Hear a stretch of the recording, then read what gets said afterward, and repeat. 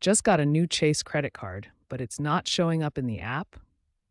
Don't worry, this is a common issue with straightforward solutions. The Chase mobile app is where you'll manage your credit cards once they're properly set up and activated. First, ensure your card is activated.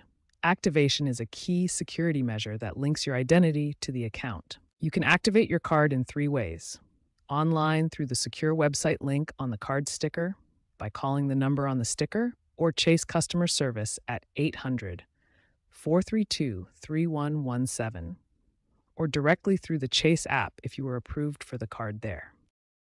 Activation is crucial because it's a key security measure that links your identity to your account.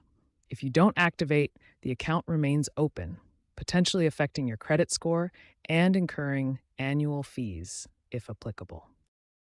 If your card is already activated but still not showing, try these quick fixes.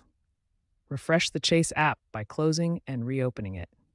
Check your internet connection by switching between Wi Fi and cellular data, and update the Chase app to the latest version. Remember, activation is the first and most important step.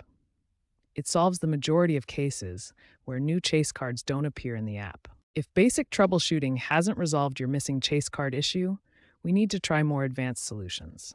First, let's clear your app's cache which can resolve display problems. Here's exactly what the Android settings path looks like.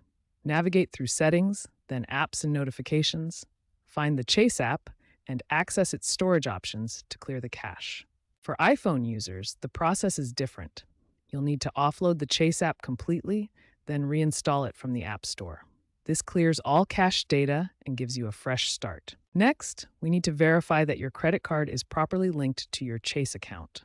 This is a common issue that prevents cards from appearing in the app. In the Chase app, navigate to Profile and Settings. This is where you can manage all your account connections and ensure your credit card is properly linked. Once in Account Settings, look for Manage Linked Accounts. Here you can see all your accounts and manually link any that aren't showing up properly. Another common issue is name discrepancies. Make sure the name on your credit card account exactly matches the name on your Chase banking account. Even small differences can prevent proper linking. If all these steps haven't resolved the issue, it's time to contact Chase customer support directly.